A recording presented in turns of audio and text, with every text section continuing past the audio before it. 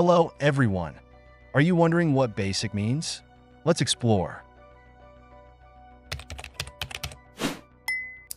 Basic is a slang term used to describe someone who follows mainstream trends, often without much originality or depth.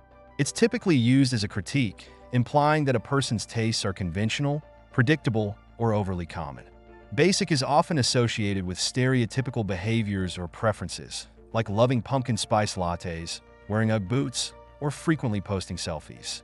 While the term started as a way to poke fun at people who conform to popular trends without much thought, it has evolved into a broader cultural critique of superficiality and consumerism.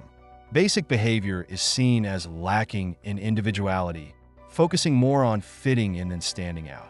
In essence, calling someone basic is a way to suggest that their tastes are generic, unoriginal, and driven by what's popular rather than personal or unique. Please like the video and leave a comment to support my job. Thank you for watching and see you later. Goodbye.